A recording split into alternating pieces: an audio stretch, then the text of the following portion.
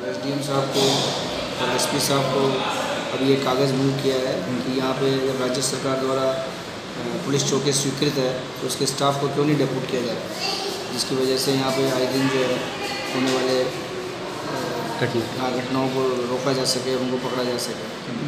हाँ इसके लिए हम अभी शीघ्र ही हम व्यक्तिगत रूप से मिलने वाले हैं डिप्टी साहब से और एसपी साहब से। और समस्या का निवारण करेंगे।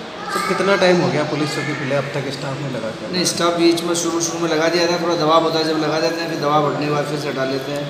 और कोई ना कोई बहाना बना देते हैं कि भाई अभी स्टाफ शॉर्ट है ये है वो है। उससे क्या है कि बार बार इस तरह से ये समस्या हो जाती है। अब किस तरह से मांग करेंगे? किस तरह अस्पताल इस तरह से नहीं दबाव दबाव इसमें दबाव डाला जाएगा इसके ऊपर बराबर नहीं तो जो हमारे स्टाफ है जो चिकित्सक और कर्मचारी है उन्होंने हड़ताल की धमकी दी है। कि अगर ये यहाँ से हटाया जाएगा तो अस्पताल को कार्य कार्य बहिष्कार किया जाएगा।